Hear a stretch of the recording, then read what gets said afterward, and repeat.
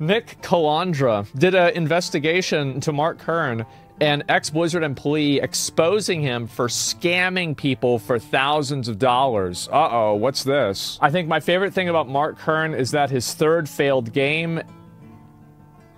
Why can't you just call it something that's not weird? Is this Ember? Like, this is the close... Like, I'm gonna call it Ember, okay? Because it's pretty close to Ember. And, uh, yeah, we're gonna call it that uh, has an option to buy founders packs for up to $15,000. So we'll open this dude up. Source, founders packs. It's right there. Yes, that's true. How is that a scam?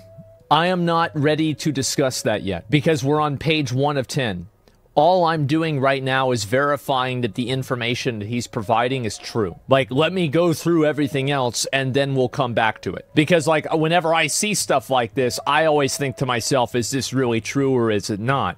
So, yeah, let's see here.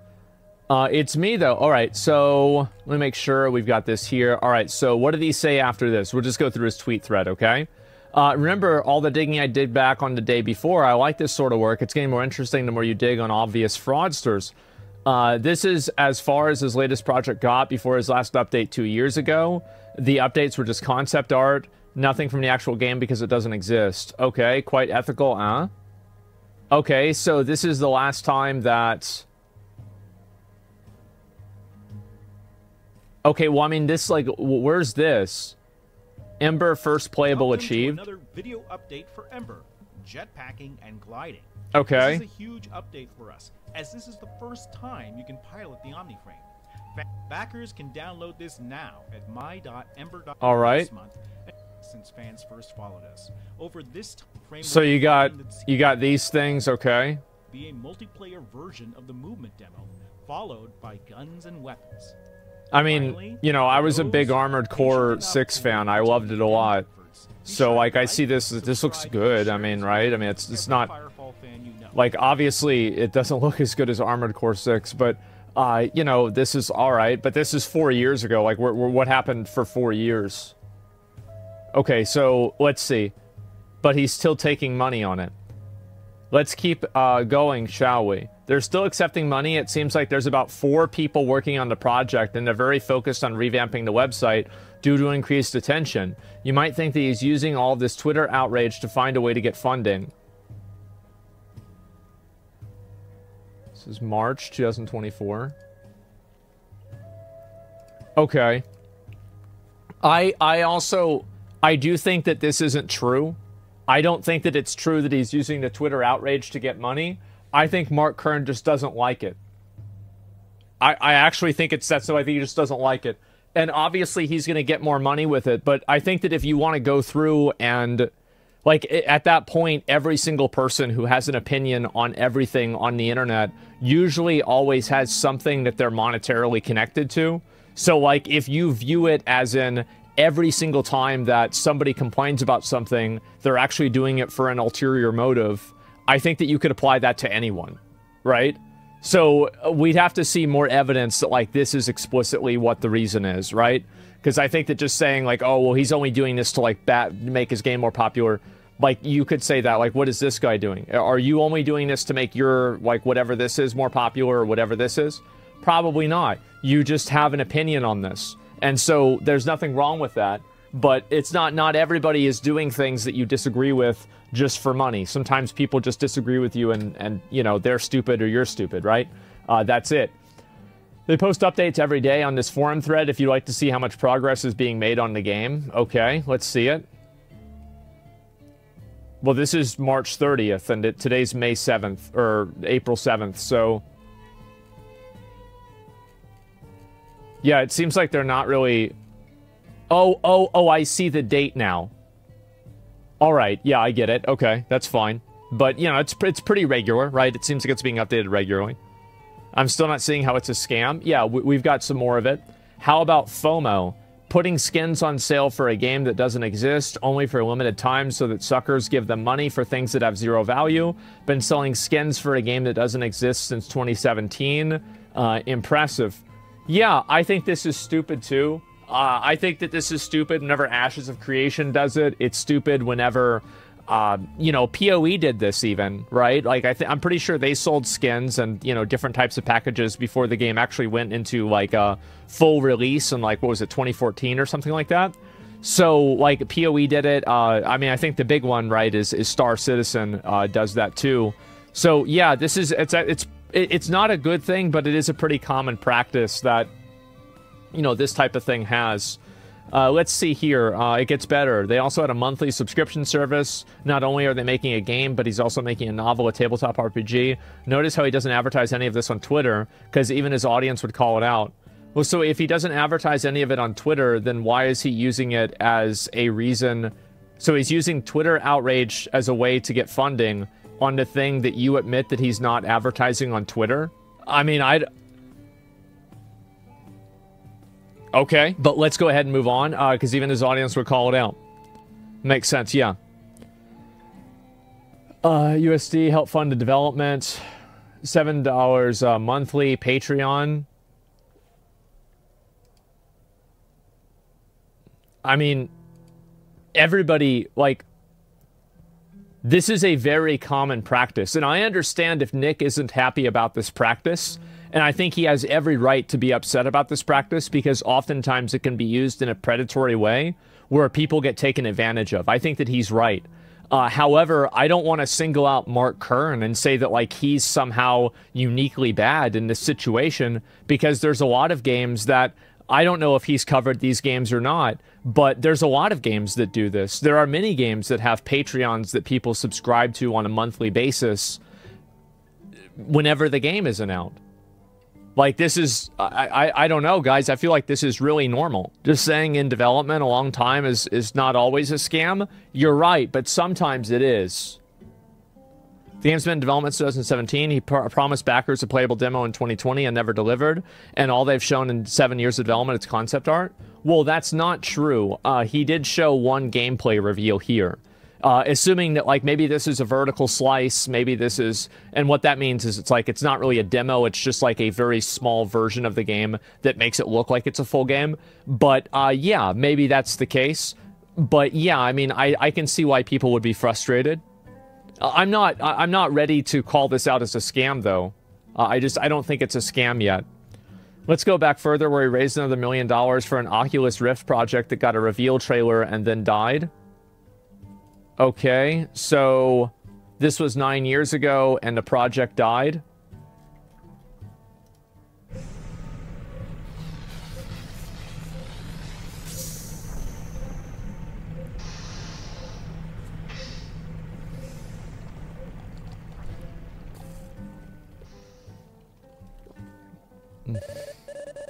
Okay. Um...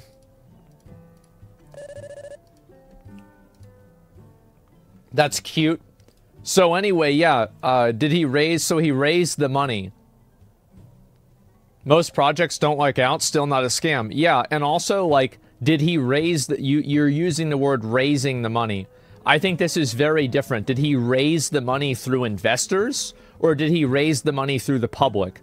Because if investors invested in something that was bad for whatever reason, like they go into that knowing that. Like anybody who's in venture capital knows this. A lot of games fail. Like, I mean, fuck. Blizzard basically canceled Overwatch 2, they canceled StarCraft Ghost, and they canceled uh, Project Titan and the survival game. So yeah, I mean, I don't really. I, I mean, you know, Mark Kern comes from Blizzard, so the apple doesn't fall far from the tree. so that's just the way it is. What's the rest of it? I've done some digging. I've found something cool later today to continue. Uh, here's his motive for all of this, in case you were wondering. If you want to help me change the gaming industry, like my most recent expose on the uh, community manager and their secret discussion groups, please subscribe. It's about money because he wants to do this. Um, I, I'm not really sure if I... Like, everybody... So like this is true but it's also true like this is like it, it's true and it's not true right so the truth is that mark kern has a brand of politics that is incredibly unprofitable so if he was doing all of this for the money wouldn't it logically make more sense that he would just adopt mainstream politics and make more money No, I don't think that people that have bad opinions that nobody agrees with, I don't think this is necessarily the fact that they're doing it all for the money, but also everybody needs money. Like, I, I, think that anybody could easily say that, like, I'm doing it all for the money because videos like this get posted on YouTube and then I get ad revenue from them. But everybody's doing that. It's the same as Sweet Baby is doing it for the money because they're getting paid by the companies that are paying them. Everybody's doing it for the money because everybody needs money. I don't think that there are any, like, in general, like, yeah, there are people that are more and less, you know, I'd say, like, ethical with doing things like this, maybe a little bit. But for the most part, I think that it's all pretty much the same. What's wrong with that? I don't think there's anything wrong with that. And this guy, again, I mean, he's got a link directly. I mean, here's the thing, right? You go over, you look at this, you look at this, keep your shit from falling apart. It's a new game. So he's got a game right here advertised on his page. And I don't think there's anything wrong with that. There's nothing wrong with doing this. But the truth is that based off of the same foundational argument that he uses against Mark Kern, it can be applied to him. So should we not take his argument seriously because he falls into the same category by his own reasoning?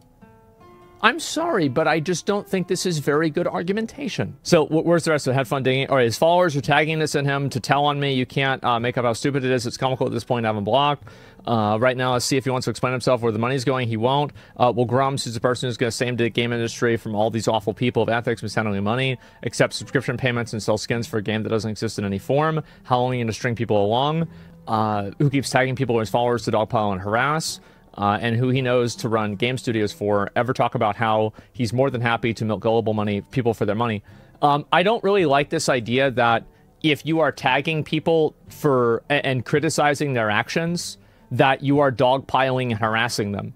Because again, if you say that, then aren't you dogpiling and harassing Mark Kern right here? Uh, I, I don't like that logic because the implication is that you can't criticize people on the internet, which is ridiculous. Yeah, it's it's ridiculous. Uh, no, you absolutely can. And if he doesn't like something that a person posts on a public platform, then he can express that dislike on a public platform. There's nothing wrong with that. Like I I don't understand this. This feels very petty. Yeah. His lack of game updates are very concerning. Well, let's see. There how much holy fuck. How Jesus Christ. Oh my god. I think that I've already pretty much like I, I just read read through everything except for I did not read this part. Uh, so this is what I this is what I think.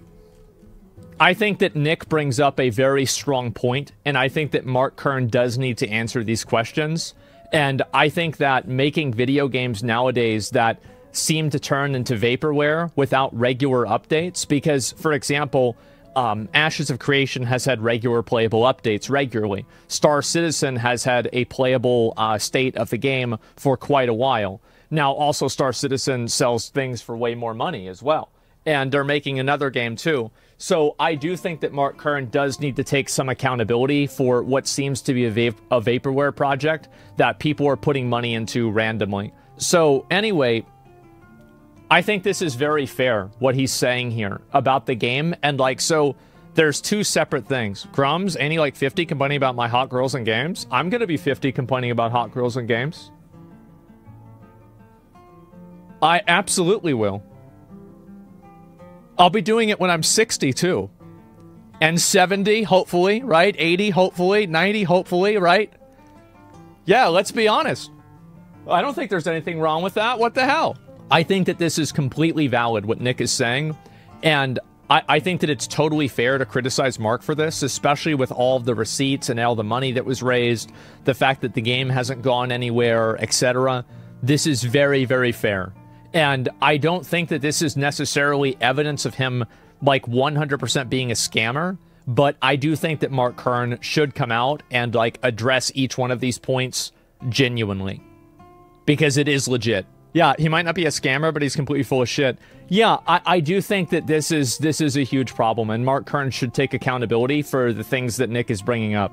I also don't think that this has anything to do with what Mark Kern is saying about the video game industry, and I think the truth is that Nick doesn't like what Mark Kern is saying about the video game industry, and so Nick is using this as a tool to like illegitimize Mark Kern's like statements about the games industry, but I don't think he really cares about this game at all necessarily. I think he's just simply using it as a tool to make him look bad, which again is totally fine because it's all in the public. But at the same time, uh, you know, I think it's important to understand like where this is coming from. Well, bigger problem in the games industry: fake woke scandals uh, or scammers grifting idiots who want to be anti-woke. What's a bigger problem? Um, I don't know. It depends on who you ask. I mean, to me, I think that the scams are really bad. Is there anything here, by the way, is there anything here that makes me. Can I use the words scam to say that that's Mark Kern? Am I going to say Mark Kern's game is a scam?